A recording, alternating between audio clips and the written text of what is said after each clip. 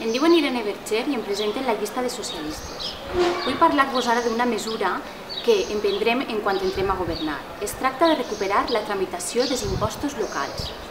Fins ara és la Diputació la que està encarregant-se d'aquesta tramitació i a canvi s'emporta un percentatge de la recaudació. Creguem que el nostre poble té els mitjans tècnics i humans per dur a cap aquest projecte i d'aquesta manera ens podríem estalviar d'entre 40 i 50.000 euros a l'any.